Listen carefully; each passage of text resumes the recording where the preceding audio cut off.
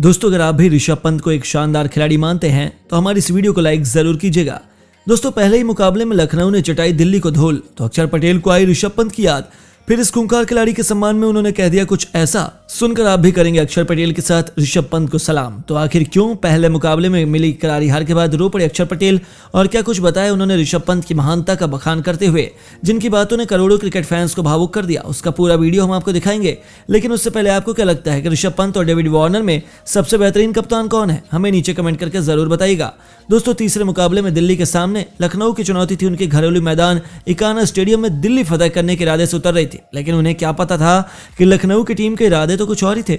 Warner ने toss जीतकर लखनऊ को बल्लेबाजी के लिए बुलाया था, लेकिन यह उनकी सबसे बड़ी गलती थी, क्योंकि वेस्टइंडीज के खूंखार बल्लेबाज काइले मेमर्स ने चौके छक्कों की बरसात करते हुए दिल्ली के गेंदबाजों की शामत ला दी, और महज इक्कीस गेंदों पर सात भयावह छक्कों और दो चौकों की बदौलत तिहत्तर रन बना लिए, जिसके दम पर लखनऊ ने बीस ओवरों में एक सौ चौरानवे रनों का विशाल लक्ष्य मेहमान दिल्ली को सौंपा। जी हाँ आपको बता दें, महज 120 गेंदों पर माउंट एवरेस्ट जैसे लक्ष्य का पीछा करने के लिए कप्तान वार्नर के साथ पृथ्वी शॉ मैदान पर आए थे। लेकिन इंग्लैंड की आधी मार्कवुड ने अपनी आगू गलती हुई गेंदों से दिल्ली के टॉप ऑर्डर को तहस नहस कर दिया। अपने लगातार दो ओवरों में उन्होंने पृथ्वी शॉ और मिशेल मॉस को क्लीन बोल्ड किया तो फिर सरफराज खान को घातक बाउंसर से चलता कर उन्होंने दिल्ली की टीम और उनके करोड़ों फैंस को खून के आँसू रुलाए। हालाँकि कप्तान डेविड वार्नर ने अपनी टीम को संभालना चाहा, लेकिन इतना ही काफ़ी नहीं था।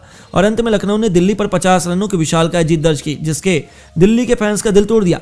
तो वहीं अब अपनी इस करारी हार के बाद अक्षर पटेल भी बेहद उदास हैं, जिन्हें मैच के बाद ऋषभ पंत की याद आई है। जी हाँ दोस्तों, आपको बता दें, अक्षर ने बताया कि यदि वह मैदान में होते तो दिल्ली को ऐसी करारी हार कभी नहीं मिलती। पंत के टीम में न होने के कारण दिल्ली का बैलेंस बहुत अधिक बिगड़ गया है। इस कारण उन्हें नए विकल्पों की तलाश करनी पड़ रही है और उनका यह हाल हुआ है कि ऋषभ पंत दिल्ली के सबसे बड़े खिलाड़ी हैं। इतना ही नहीं, अक्षर पटेल चाहते हैं कि जल्द से जल्द पंत मैदान में वापसी करें। तो दोस्तों अक्षर पटेल के यह दिलों को छू लेने वाला बयान सुनने के बाद आपको क्या लगता है? कि दिल्ली प्लेऑफ के लिए अपने लिए क्वालिफाई कर पाएगी या नहीं? अपनी राय में नीचे कमेंट बॉक्स में ज़रूर बताएँ और ऐसी शानदार खबरों के लिए चैनल को सब्सक्राइब करना ना भूलें। धन्यवाद।